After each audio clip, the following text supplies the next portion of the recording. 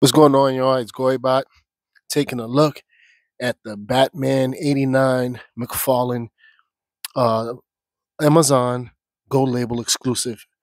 Um, the 89 Batman action figure with the Batmobile.